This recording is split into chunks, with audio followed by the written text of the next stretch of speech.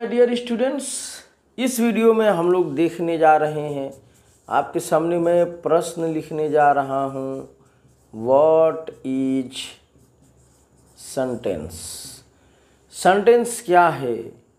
Define the sentence write the definition of the sentence sentence क्या है? Sentence को परिभाषित कीजिए। सेंटेंस का परिभाषा लिखिए। राइट सेंटेंस क्या है? जैसे हमने आपके सामने दो दो सेंटेंसेज मैं आपके सामने लिख रहा हूँ। Mohan plays cricket. एक सेंटेंस हमने ये आपके सामने लिखा है और दूसरा सेंटेंस जो मैं आपके सामने लिख रहा हूँ, वो ये लिख रहा हूँ।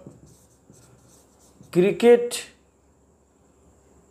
plays play Mohan right दो हमने आपके सामने सेंटेंस लिखे हैं। कैन यू टेल मी क्या आप मुझे बता सकते हैं कि इनमें सेंटेंस कौन सा है और कौन सा सेंटेंस नहीं है? तो आप बहुत बेसिकली आप कहेंगे, सर, ये जो पहला वाला है ना, ये सेंटेंस है बट ये जो दूसरा वाला है, ये सेंटेंस नहीं है। तो यहीं से आपको इसका डेफिनेशन समझ में आएगा। मैं आपसे पूछूँ, इसमें कितने वर्ड्स का ग्रुप है?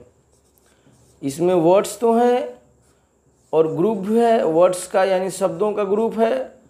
थ्री वर्ड्स हैं। कितने वर्ड्स हैं? इस सेंटेंस में in the first sentence there are group three group of three words तीन शब्दों का समूह है। And in the second sentence तीसरे सेंटेंस दूसरे वाले सेंटेंस में भी देखते हैं कि वर्ड्स हैं और उन, उस शब्दों का क्या है? ग्रुप है और इसमें भी वर्ड्स कितने हैं? तीन वर्ड्स हैं।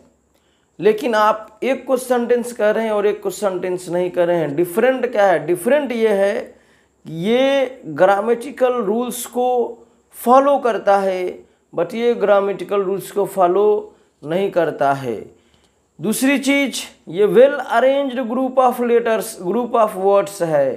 यानी शब्दों का सुव्यवस्थित क्रम है और ये वाला not well arranged group of words है। यानी शब्दों का सुव्यवस्थित क्रम नहीं है और यहीं से इसका डिफिनीशन निकल कर आता है। अगर हम लोग सेंटेंस का डिफिनीशन लिखना चाहें तो इस प्रकार से लिख सकते हैं।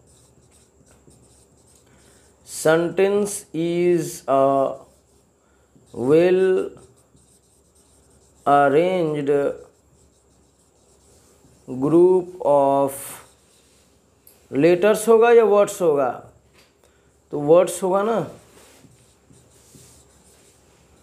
Sentence is a well arranged group of words और उसका कोई मतलब भी तो निकल के आना चाहिए।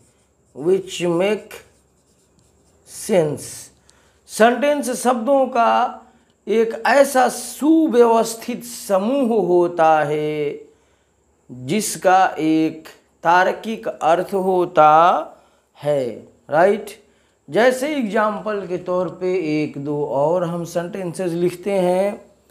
जैसे हमने लिखा, Ayat is a beautiful girl. आयत एक सुंदर लड़की है। राइट? और सेंटेंसेस आप लिख सकते हैं। आई स्पीक, मैं बोलता हूँ। राइट? और आप दो चार सेंटेंसेस लिख सकते हैं। आप खुद बना के देख सकते हैं। कई सेंटेंसेस आप उदाहरण के तौर पे लिख सकते हैं, लेकिन आपने सबसे ज़्यादा ध्यान क्या रखना है? Sentence is a well arranged group of words which make sense ठीक है? अगर सिर्फ़ ग्रुप ऑफ़ वर्ड्स हो वेल अरेंज ना हो तो ग्रामेटिकल रूल्स को फॉलो नहीं करेगा फुलफिल नहीं करेगा, और उसका कोई सेंस निकल कर नहीं आएगा तो वो सेंटेंस नहीं कहलाएगा राइट हमारे पास राधा हैं, राधा जी हैं, राधा कुक्स, राधा बनाती हैं। क्या बनाती हैं? फ़ूड बनाती हैं, भोजन बनाती हैं। भोजन बनाएँगी तभी तो आप खाइएगा। चलिए तो ये आपका सेंटेंस क्या होता है, ये हमने कवर किया है। एक दो सेंटेंसेस आप कमेंट में ज़रूर लिख कर भेजें।